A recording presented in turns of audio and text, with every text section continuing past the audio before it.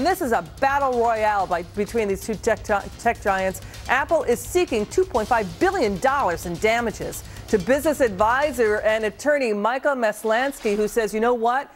Get this, if Apple wins, it will limit consumer options here and stifle competition everywhere. What do you mean, Michael?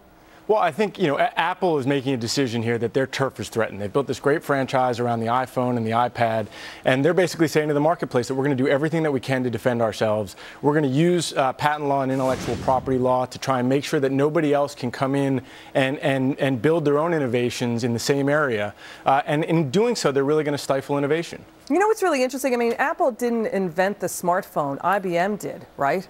back with the Simon back in I think 1992, and it didn't even invent MP3. Audio Highway did, but I think something like half its quarterly revenues comes from the iPhone. So they got to be. Is this a sign that Apple is nervous? Well, I think partly it's nervous, partly they're trying to aggressively protect their franchise. But at the end of the day, this comes down to a two and a half billion dollar lawsuit over rounded corners on a device. And the question that we have to ask as consumers is: Is that the kind of behavior that we want to protect? Is that the kind of innovation that we want to protect? Because if we don't, then we got to really hope that Apple loses this fight. Are you, uh, they, that they lose this fight because you're saying if they win the fight, there'll be less consumer choice? Well, if they win this fight, then basically what it says to competitors is that when they build a device, they have to be careful not to make it look like and look close to anything else in the marketplace. So that means they have to think differently about how they innovate. But you know, here's the deal. I, you know, Apple's iPhone already is looking like its prior iPhone, so people may not want to upgrade to the next Apple iPhone because it looks like the same thing. I mean, there's not much difference between between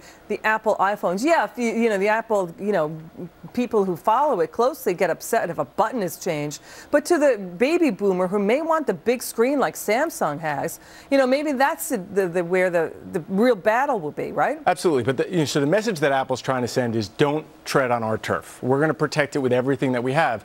But the innovators are trying to do things, trying to create new things around the edges of what Apple does that are different, that give consumers a choice. They're spending a lot of money on innovation and this would preclude them from actually taking advantage of that uh, that investment in what innovation. What market share does Samsung have? Something like 31 percent, uh, It's right? big because Android is yeah. a bigger market share than, than Apple. Than them, than Apple too, and Apple's Apple like 24%. Yes. They got to yes. be nervous here. They Absolutely. have to be nervous by this. The, the judge has already has already threatened to take the Samsung off the market uh, as a result of this lawsuit. I mean, there are big dollars at stake. The judge is threatening to take Samsung's well, well, product off yeah, the market. Apple has asked that the judge um, uh, enjoin Samsung from selling their product until this is uh, until this whole thing wraps up. Where do you think it ends up? What do you think? Uh, you know, I think it ends up on this on this part of the case. I think it ends up with Samsung winning. I think there's too much at stake to let Apple win in this case. And I think you know what we're seeing overall and what we're going to see over time is a lot more of these lawsuits fighting over smaller and smaller things that, at the end of the day, aren't that great for consumers. All right, Michael Maslansky, always terrific.